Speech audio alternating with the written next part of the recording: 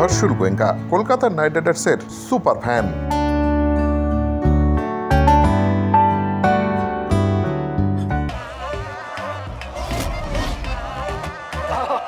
अरे ऐसी पकड़ कहाँ से सीखी S R M B T M T बाहर से सीखा সেই শুরুর আইপিএল থেকে আজ পর্যন্ত শাহরুখ খান এই মুখটির যেমন বদল ঘটেনি ঠিক তেমন কলকাতার নাইট রাইডার্সের পাশ থেকে এই মানুষটিরও বদল ঘটেনি।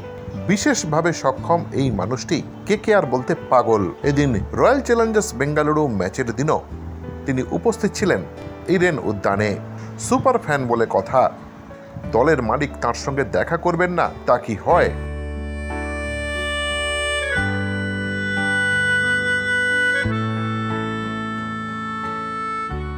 এই তো সেদিন। দু হাজার আঠেরোতেও যেমন দেখা করেছেন, আবার একই দৃশ্য ঘটল। হার্সল গোয়েঙ্কার সঙ্গে এই মুহূর্তগুলি শাহরুখ খানের মহানুভবতার অনেক বড় পরিচয় বহন করে, নিশ্চয়ই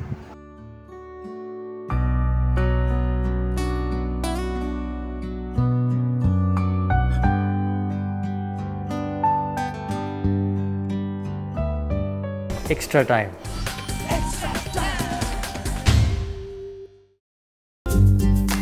লেটেস্ট নিউজ আর এক্সক্লুসিভ ভিডিওর সঙ্গে আপডেট থাকতে এখনই সাবস্ক্রাইব করুন আমাদের ইউটিউব চ্যানেল বেল আইকনে ক্লিক করতে ভুলবেন না জানো?